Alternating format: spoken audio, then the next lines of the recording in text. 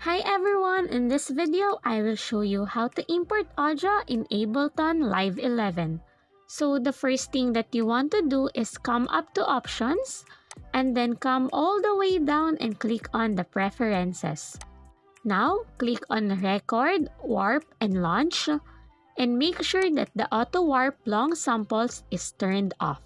Once that turned off, we can go ahead and start importing our audio.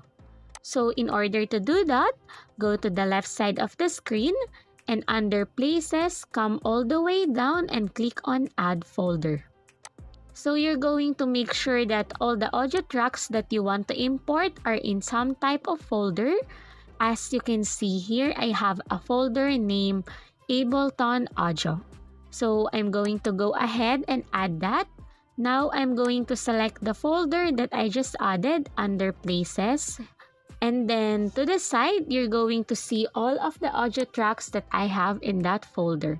So now that I want to add all these audio files onto my timeline, each in their own track, I'm going to click on this top file and then hold shift and click on the bottom one. And then I'm going to hold down control and then just drag them down onto my timeline. So that's it. I already imported the audio on Ableton. So if you enjoyed this video, give it a thumbs up. Don't forget to hit that subscribe button and ring the notification bell so you never miss an upload. Thanks for watching!